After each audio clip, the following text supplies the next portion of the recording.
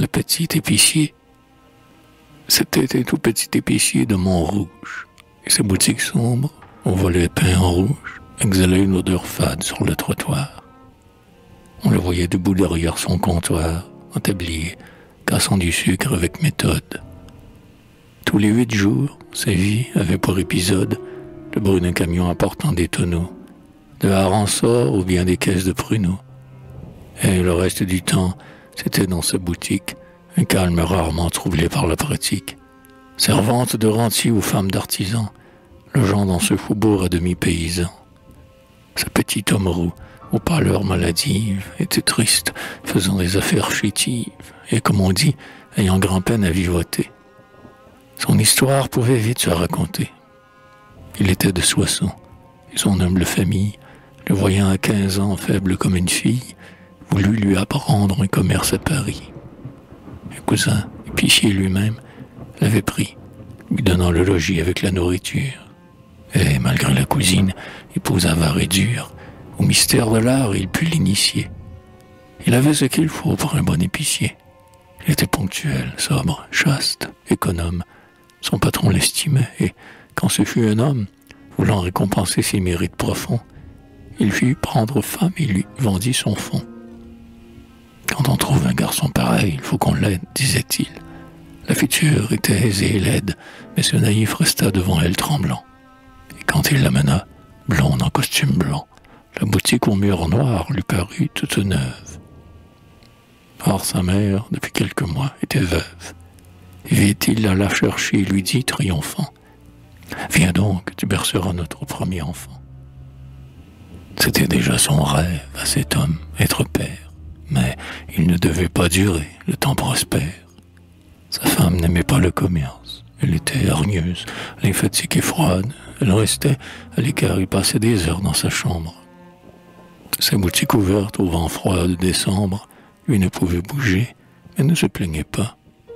Car sa mère, en bonnet et tricotant des bas, était là, toute fière de son fils et d'elle, tandis qu'il débitait le beurre et la chandelle.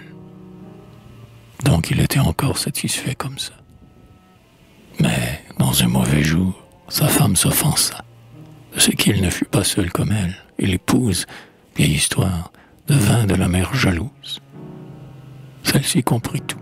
Mon enfant, j'avais cru, lui dit-elle, pouvoir bien vivre avec ma bru.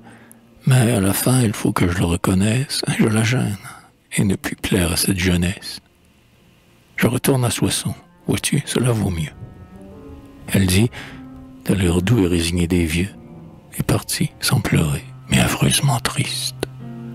Hélas, il n'avait pas ce qui fait qu'on résiste. Il consentit, devint plus morose qu'avant, et pria tous les soirs pour avoir un enfant, car c'était là son but, décidément. Ce rêve, cet instinct, ce besoin le poursuivait sans trêve. Il n'avait qu'un désir, il n'avait qu'un espoir, être père. C'était son idéal. Le soir, quand les noirs ouvriers, portant un enfant rose, entraient dans sa boutique acheter quelque chose, soudain il se sentait plein d'attendrissement. Mais les ans ont passé lentement, lentement. Il comprend aujourd'hui que ce n'est pas possible. Il partage le lit d'une femme insensible.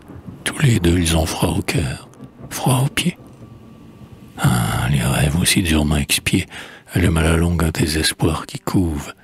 Cet homme est fatigué de l'existence. Il trouve où les pareils dégoûts vont-ils donc se nicher? La colle et le fromage ignoble à toucher. Il est le vent coulis qui souffle de la rue. Il ne peut plus sentir l'odeur de la morue. Et ses doigts crevassés, maudissant leur destin, ont trop froid au contact des entonnoirs d'étain.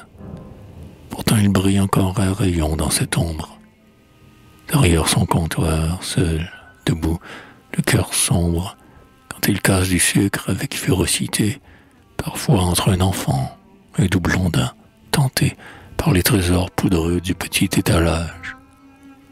Dans la naïveté du désir et de l'âge, il montre d'une main le bonbon alléchant, et de l'autre il présente un chou noir au marchand.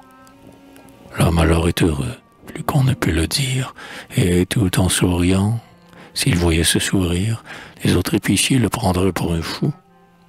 Il donne le bonbon et refuse le sou. Mais aussi, ces jours-là, sa tristesse est plus douce.